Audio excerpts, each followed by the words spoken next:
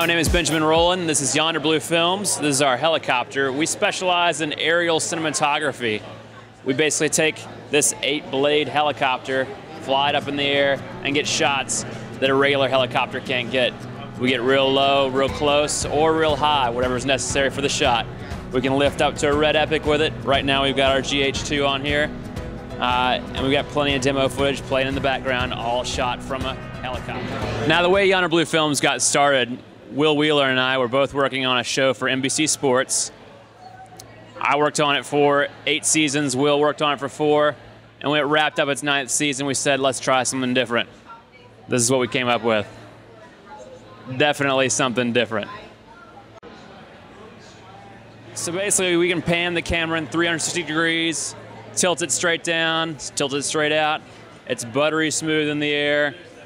It's very stable. We can do about 35, 40, 40 miles an hour with it. We've got more aircraft in the works to go even faster than that. So if we need to chase race cars, we're ready for you.